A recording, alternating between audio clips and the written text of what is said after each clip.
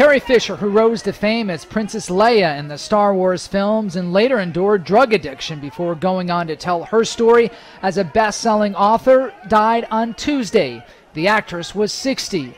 Fisher, a mental health advocate who spoke out about her own struggles with bipolar disorder and cocaine addiction, had suffered a heart attack on Friday, December 23rd, as she flew into Los Angeles. The daughter of actor Debbie Reynolds and the late singer Eddie Fisher had been returning from England.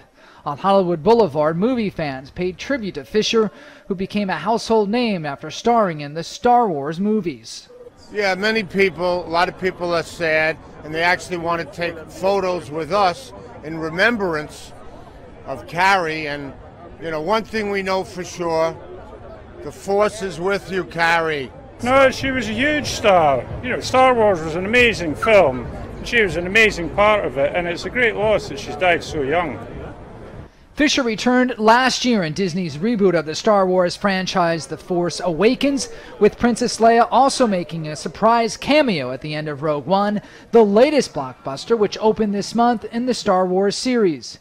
Filming was completed in July on Fisher's next appearance as Leia in Star Wars Episode 8, which is set to reach theaters in December 2017.